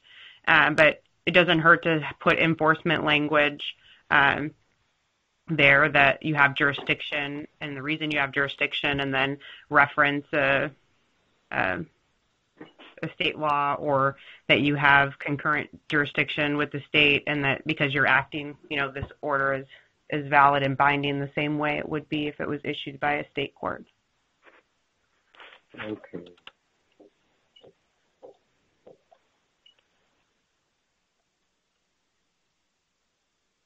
Okay, thanks. Thank you. So last call for any comments or questions to our presenters. It could be anything, you know, off of the top of your head. It doesn't have to be relevant to the training. Um, any questions at all are welcome. Winter.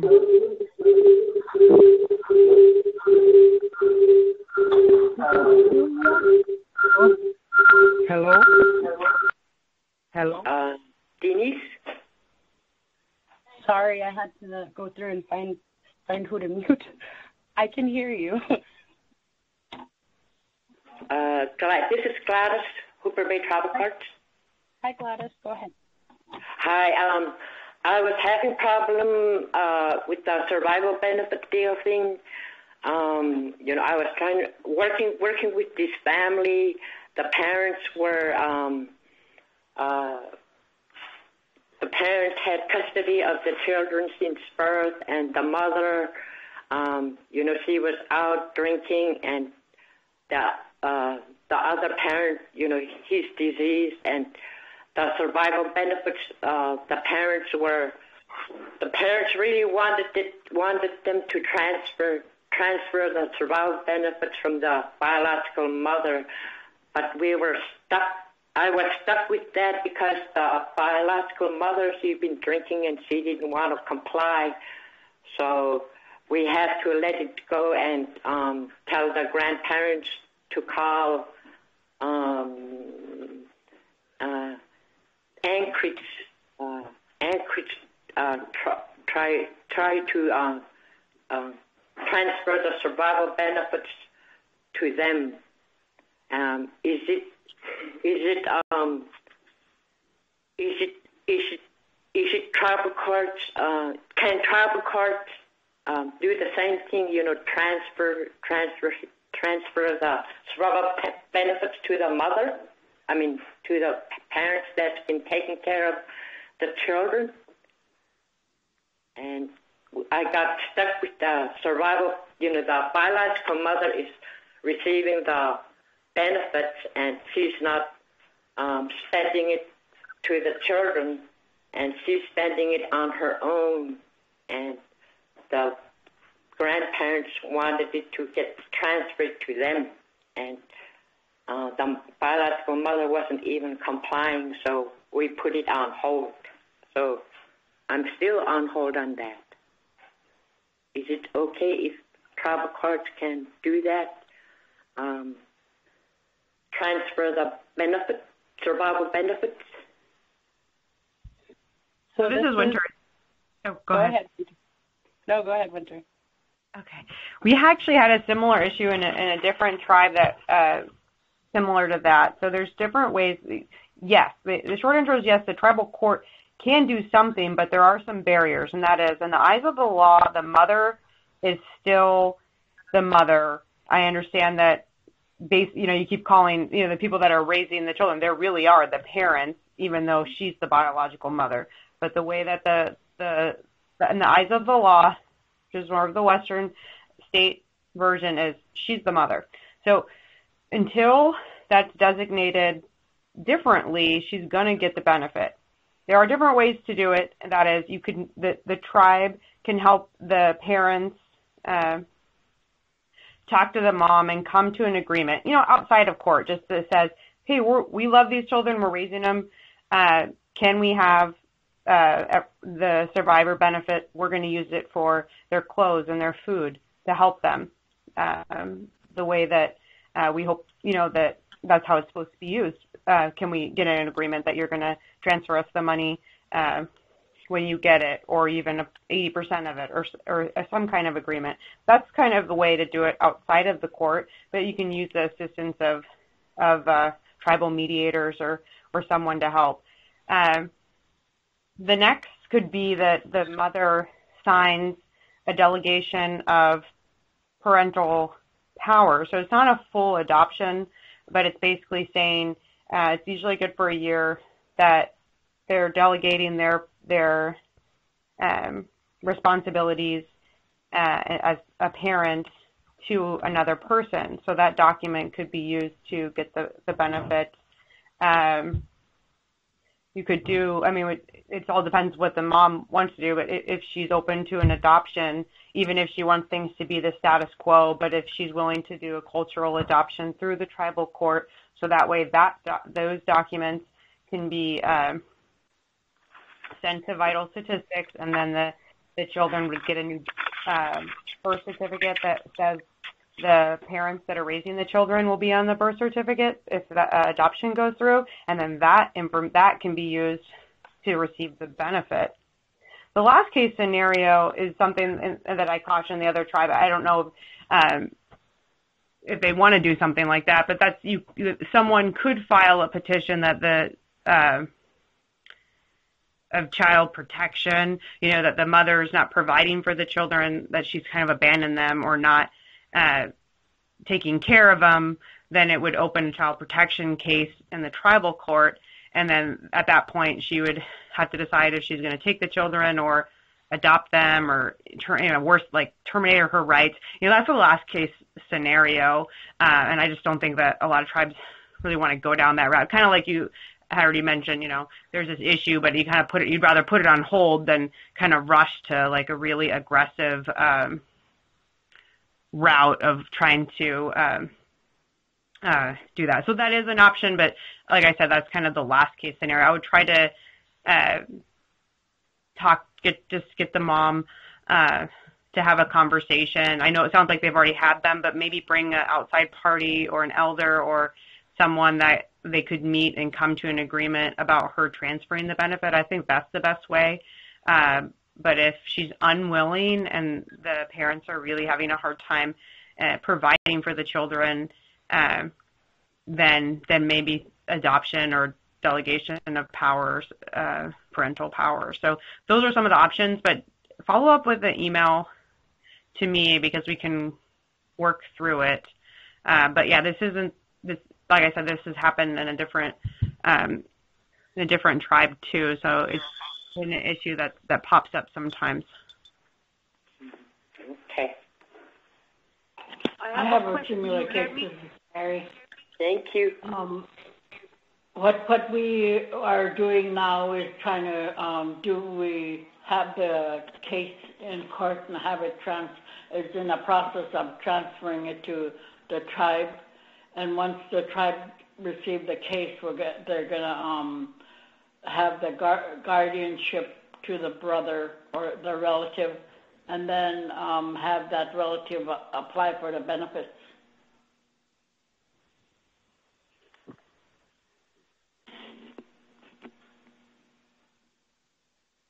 Hi, Denise, you hear me?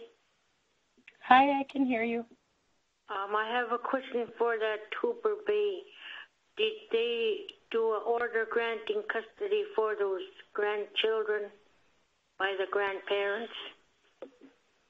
Uh, yes, they did. Um, we meet with the tribal council and uh, we made an agreement, but the mother, biological mother, wasn't complying and everything was on hold. We filled out, you know, we suggested them to do adoption and then um, and then uh, we we suggested to do adoption, but um, she wanted to put him on hold because she she was you know stuck with the biological mother. Uh, she needed to talk to her, but she was she was having a hard time, and to this day she still is having a hard time. Does that answer your question? Yeah, we we had a similar situation where the children's social security benefits were going to the mother and the mother would take them and leave town and then spend it any which way she wanted and be gone for months. And then we had a custody hearing and the custody was given to a different person besides the parent and how they were trying to get the money for their Social Security was they called that Anchorage office and they told him that he needs to go to that office in person and bring that custody form so they could change that um, where the money would go to for the children. So that's how that situation was solved by going to them directly. And when that person didn't have any airfare, um, the tribe had unrestricted funds to help pay for his fare and help him out. So that's how the situation got solved for us. Okay. Well, what I told him was if you guys, you know, if the uh, if the grandparents, you know, if they have any kind of appointment to go to Anchorage, um, I I suggest them to go to the Anchorage office by themselves because that's what they told me when I first um, when I first tried to help them with the survival benefits. Yeah, that's the best way to go about. Yeah. Okay. So I just have to state right here that um, this is why collaboration between our tribal courts is great because maybe something happened in a different court that um, you know is going on in your court right now, and maybe they have ways of handling it, so you're not hitting that roadblock, and that you're able to move forward and progress with your case.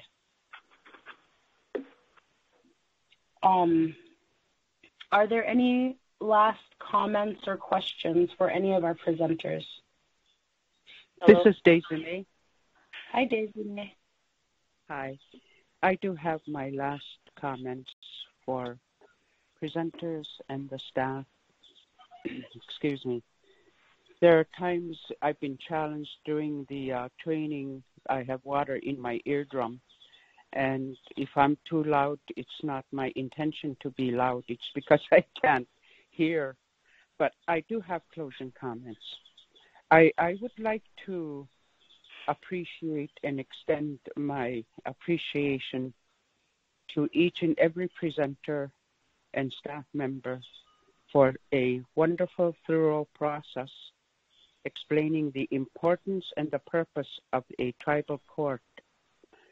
And what I come out of this is the importance of government to government relationships to be established and how we can work together as government to government as a tribal court versus state court. And it develops team building with many resources. I, I've, I heard mentions of some resources from each presenter and the importance of the documentation process and how we can embrace the process in order to protect our tribal courts and our tribal members. And the interaction of all cultures, establishing a system so that we can be prepared for any transferring of any cases, be it CINA case, ICWA case, or a criminal case. I would like to ask if it's possible for someone to submit a listing of all the resources that was mentioned these three days. It's difficult to remember each resource that was mentioned because this training with its challenges, um, be it via phone, has been a high caliber pressure for me.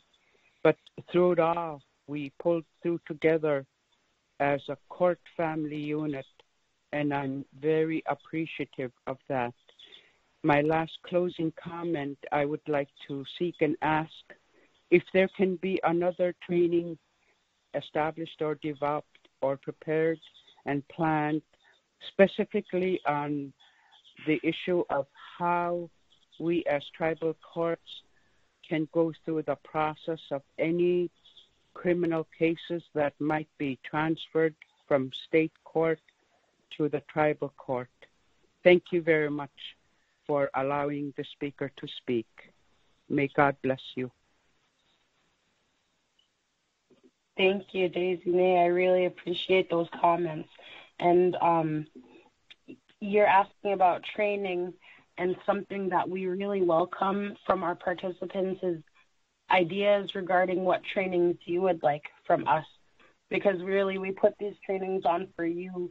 We want to help our communities in our region. We want to help you in what you have to do to keep your keep your community and keep your people safe. So I, I really do appreciate those comments, and we will. I will likely myself reach out to you to get ideas for training that you might need. um, are there any mm-hmm. other? Oh, go ahead.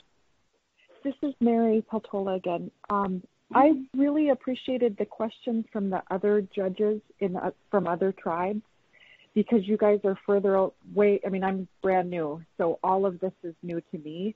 And one of the things I'm wondering is if, you know, at some point there could be like a monthly call or, you know, once every two months where we could just call each other and just share, you know, share frustrations and strategies for solving problems.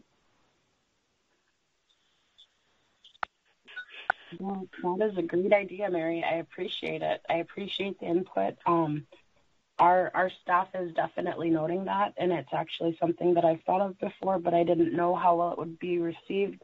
And then in the midst of the pandemic we're in right now, um, you know, it, it's even more important to have that that collaboration between between different tribal courts and different communities. So I, I will I, I will um, we're going to be vetting that. Are there any question, any other questions or comments?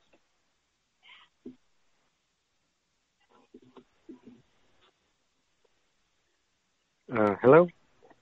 Hi. Go ahead. Yeah. Um, if you have a list of um, tribal court phone numbers and contact people of um, of the other tribes, you know, if we have a dilemma or something, maybe you could email their court contact information. So actually, we were working on um, an oh. updated oh. tribal court survey, and we are getting contact information, but we're going to have to make sure that it's okay to share because that is not our our department's information. It belongs to the tribe but definitely we'll look at what we can do for that. Yes.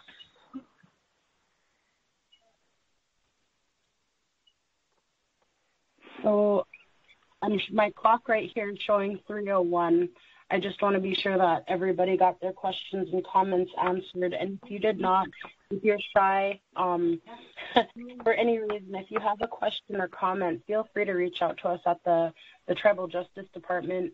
Our, our email address is tribal-justice at avcp.org. Our department phone number is 543-8550. Um, and if if you're interested in reaching out to any of our presenters, I have contact information, and it sounds like everybody is pretty open to being contacted, and I know everybody is very helpful. Um, so if you do, you know, I just want to I just want to send out a reminder that um, I did include the training evaluation for this specific training in the program material that was sent out. And if everybody could fill that out and send it back to us via email, we'll be sure to look through all the input and make sure that your concerns or anything are being addressed um, in regard to the trainings that we are hosting for you. Um, this is the conclusion of our AVCP Master Series Training Part 2. We had about 40 people on the phone today, so that's great. Um, I wanted to thank everybody for taking time out of their busy schedules to join us, and we really appreciate your participation throughout the training and throughout our trainings in the past. Um, our department is here to support you and to help you throughout your anything related to tribal court, you know, as much as possible. Um, so I, I, I, set out the reminder for the training evaluation. Um, I really wanted to thank our presenters on behalf of the Tribal Justice Department. Um, they really bring a lot of great resources and knowledge to to the table and to everybody, all the participants. Um, and I, I do want to say that our participants, you, you guys each know your communities the best and you know how things work, and we appreciate you taking the time to join us. So, with that, um, I, I just want to say that our, our trainings, the recordings of these trainings, will be available on the AVCP website. Um, if you're having a hard time finding that, please reach out to me. I'm available to help. And just thank you, everybody, and have a wonderful rest of your week. Brianna. Thank you. Brianna.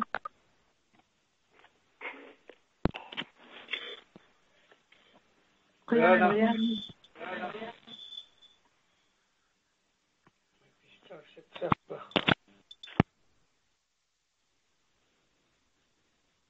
Thank you, Denise. Thank you. Thank you, everybody. Have a nice day. Safe one. You too. Stay safe out there.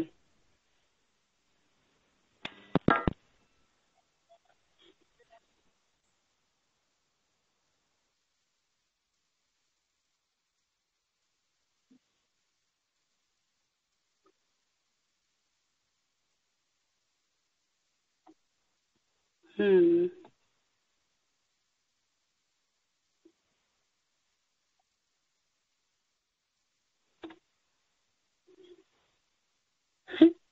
Heather, it's only me and you on the phone now.